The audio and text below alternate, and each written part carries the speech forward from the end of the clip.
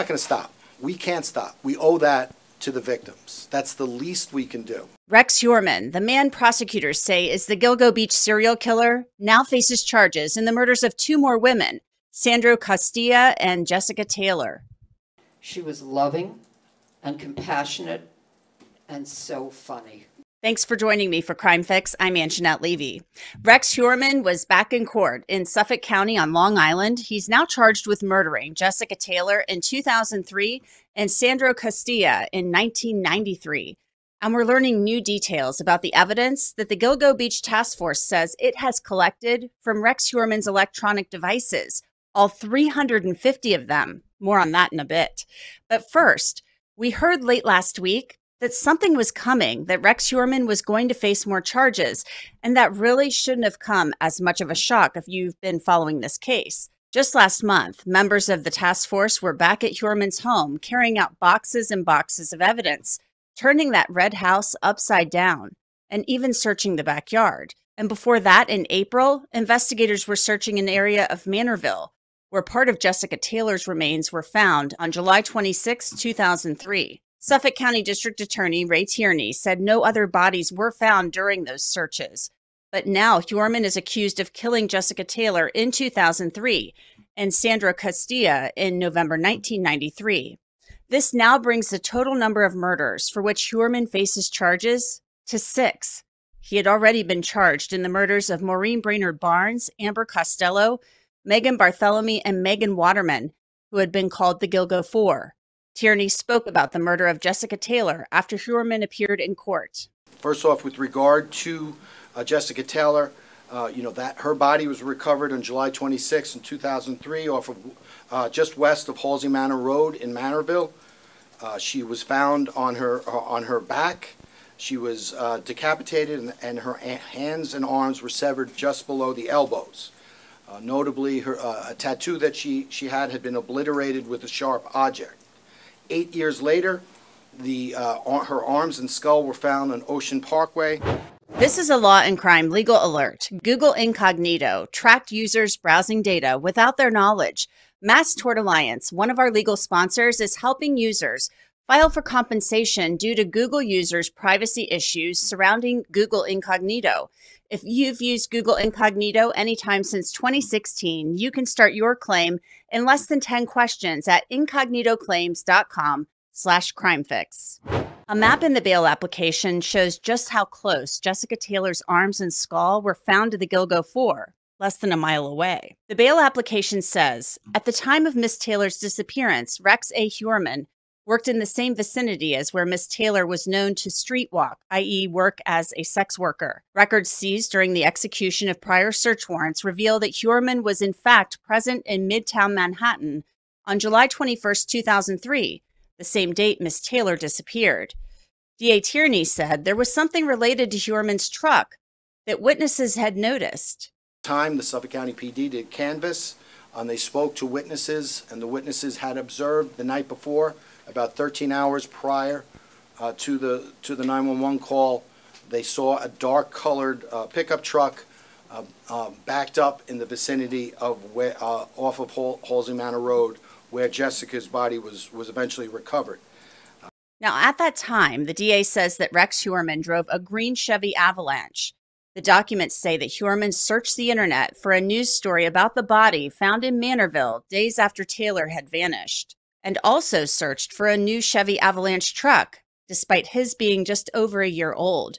The DA says Rex Heuermann could not be excluded as a contributor to the male hair found under Jessica Taylor's body, but 99.96% of the population could be excluded as a contributor. So basically, through two rounds of DNA testing, mitochondrial DNA and nuclear DNA, the DA is saying the results show it was Rex Heuermann's hair found underneath Jessica Taylor's body. Jessica Taylor was murdered in the summer of 2003, and that means the kids were out of school. He had two children. The DA says that Rex Heuermann's family was in Vermont with one of Victoria Heuermann's kindergarten classmates, and Rex Heuermann did not go on that trip. The bail application says, based on post arrest interviews with witnesses, including witness two's family and Victoria Heuermann, the Gilgo Homicide Task Force has learned that at the conclusion of the kindergarten school year, Ms. Ellerup and her two children vacationed with Witness 2's family from on about July 20th, 2003 through on or about July 27th, 2003 at Smuggler's Notch Resort, that was in Vermont. Now, there has been rampant speculation from some people connected to this case that somehow Rex Heuermann's family was involved in these crimes. And it seems like investigators are trying to nip that in the bud right now in this bail application. Victoria Heuermann was in kindergarten when Jessica Taylor was murdered, also included in the court document. Long distance phone records that show Rex Heuermann called the resort where his wife and children were staying that week, along with his Palm Pilot records that clearly show, quote, wife in Vermont for that week. We were able to corroborate that information through witness statements, photos, and phone and uh, financial records. Attorney Gloria Allred represents some of the Gilgo Beach serial killer victims. She read a statement for Jessica Taylor's mother as she stood next to her. Jessica was my daughter. She was loving and compassionate and so funny. She loved to make people laugh. She could always make people laugh. She tried very hard in school. Jessica had two brothers and they would always play together. She and her brothers were very close. Jessica loved riding her bike. She loved playing board games Monopoly, Chutes and Ladders, Candyland. She loved playing cards, especially spades and rummy. Now, the sixth victim Heuermann's accused of killing is Sandra Costilla. Investigators believe she was murdered on November 20th, 1993. Tierney talked about when and how her remains were found. Two individuals while hunting in, in that wooded area of Southampton in, uh, in the vicinity of Old uh, Fish Cove Road in North Sea discovered her body. Uh, she was lying on her back with her arms out, outstretched over her head. Uh, her legs were uncovered and her shirt was, was pressed over her, her head. Uh, the, uh, the defendant, I'm sorry, the victim uh, suffered uh, numerous sharp force injuries, 25 in all, uh, which we believe were post-mortem. And these were injuries to her face, torso, breasts, left thigh, and in her, her vaginal area. Just awful. Tierney says three hairs were recovered from Costilla's body one female hair from her right arm, and two from a tape lift of her shirt. In 2014, mitochondrial DNA testing excluded John Bittrolff and his maternal relatives as the contributor of the hairs. Bitroff is currently serving time for killing two other women. Tierney says that 99.96% of the population can be excluded as the contributor of the hair, but Rex Heuermann cannot be excluded as the contributor of those two hairs on her body. That same male hair or, or extract, extract there, thereof, therefrom uh, was brought to an, uh, the same outside lab for nuclear DNA testing.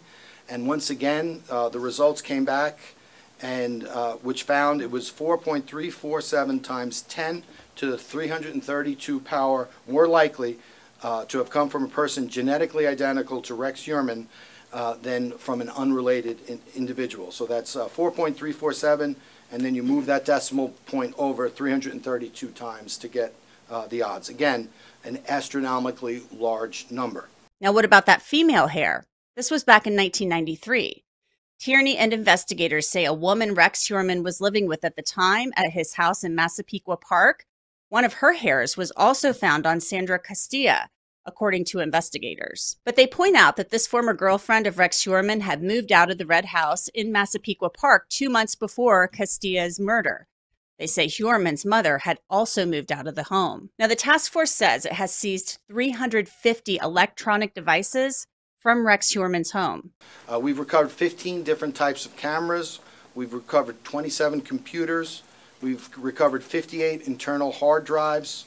We uh, recovered 22 external hard drives or solid drives. We recovered 46 cell phones. We recovered nine Wi-Fi routers uh, 44 uh, SD micro cards, which are like um, like uh, um, jump uh, jump routers, uh, 17 tablets, 42 USB devices, eight laptops, 50 hotel cards, four GPS devices, 11 music devices, 36 SIM cards, uh, 33 miscellaneous items, and 647 CD floppy disks. And investigators say they've been extracting data from those devices and analyzing it with the help of the Secret Service. And the material found on those devices, Tierney says, shows a lot of pornography depicting torture and violence. An interesting note here in the bail document, investigators say the pornography shows things that coincide with how the remains of Sandra Costilla, Jessica Taylor, and Valerie Mack were discovered. Right now, Heuermann is not accused of murdering Valerie Mack, but the investigation into her death and the deaths of the other Gilgo victims continues. Now, investigators also say they found what they call a planning document on Heuermann's computer. It was from 2002 through 2004. That's how it was labeled. And they say it had been deleted, but they were able to recover it. One document has categories labeled problems, supplies, DS, and TRG. Investigators believe DS means dump sites and that TRG means target. Under problems, a number of items are listed, including DNA, tire marks, bloodstains, fingerprints, witness, trace sources of supplies, shoe prints, police stop, and the list goes on. The supply list also sounds like things that could be used to torture a person or clean up. Booties, lye slash acid, police scanner, rope slash cord, saw cutting, medical gloves, drain cleaner, photo film, and under DS, DS dash one Mill Road, dumpster site, next time, recon dumpster locations. Under TRG, T dash 1 names Megan with a question mark. Now, does that mean Megan Waterman? We really don't know. She was killed years after this document was believed to have been created. It also says small is good. The Gilgo Four were all small in stature. Another document discussed pre prep, prep, and post event. The pre prep included a vehicle inspection, reconnaissance, and looking up weather reports. And the prep listed a holding area, build table, crossbar, and hard point. The bail document says a hard point in bondage is a fixed attachment point in the ceiling that supports the weight of a person being suspended off the ground, possibly for torture. I want to bring in Josh Zeman. He's been investigating the Gilgo Beach murders for years now. He produced a documentary about it. Josh, we now have DNA evidence linking, they say, the prosecutors do, jo- uh, Rex Heuermann to the murders of Jessica Taylor and Sandra Costilla. Uh, your thoughts?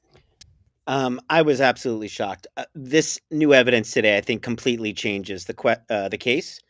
Um, in terms of whether there was some speculation as whether we're dealing with one serial killer or two, and I think it just brings Rex Heuermann's guilt into extreme focus. I mean, I, I was reading the bail uh, uh, information this morning on uh, on air with Joe Giacalone, and we were c- flabbergasted. I mean, the preparation documents that he had going through the list of the targets, the drop zones, how to prepare, what to do. The fact that he had this on his computer and and was so meticulous. It's almost like a movie. I mean, you know, you would think like this is how a, a movie would go. I almost wouldn't believe it, and and just to see it, like I, I'm again, I am just completely shocked. I don't know how anybody could have any question whether Rex was was involved in these murders or not. Josh, uh, 350 electronic devices. Sure. 350. That's how many they say they seized from his house. I mean. Yep and this is going back decades, I guess. And we're talking about a Palm Pilot. Uh, he's obviously a yeah. pack rat. We're talking about a Palm Pilot from um, 2003. Yeah, uh, that's a really old device. And and this file, this so-called planning document that they talk about from 2002 to 2004, post-event, destroy file. So he's talking about, I'm assuming this. Yeah. Change tires, burn gloves, dispose of picks, have story set. So this was something that he was thinking about something. I mean, I'm not ready to convict the guy yet. That's not what I do. I'm a news person, but this is very scary. And these girls, if the, he is indeed the killer, and it, it, this is very compelling evidence that they discuss in this in this bail application, they endured horrific, horrific torture. It, it it's it is a real shame. We're talking about people's lives here first and foremost. And you know, you have to put yourself in the family's shoes and say, well, you know, they want they didn't have answers for so long and now they finally have some answers, but it's a double-edged sword because those answers come with a real um, horrific understanding of what their loved one went through. So before we get all wrapped up in Mindhunter and all this other stuff and all this serial killer stuff, let's just understand that we're talking about victims and victims' lives here and and true, absolute, true tragedy. Yeah, these are Um, real people yeah, behind this. I mean, these are young women who were engaged in sex work, and it doesn't matter what you think about that. They went out one night to do what they do, and according to this, this brings to mind a lot of um, awful stuff, a lot of bondage, a lot of torture. That is not what these women I miss were eh, looking for when they were engaging in this in this type of work. Um, there were some other things that the that the police said that they found on his computer. One was a document called Body Prep, and it said wash body inside and all act, uh, all cavities, remove trace evidence, fingerprints, hair, remove trace DNA, remove ID marks, tattoos, comma marks. Jessica Taylor, they said that um, her tattoo there was an effort to obscure that. Remove marks from torture, remove head and hands, package for transport. So th- there's discussion about packaging these body parts to, to move them. And then dispose of the following tools and devices, T1 clothes, Target 1 clothes, and personal items, drop cloths, wipes and towels, props, toys, wood items, anything that touched T1, what you wore, destroy book and computer files, burn gloves, dispose of box of plastic bags to avoid trace. Bags is uh, spelled wrong.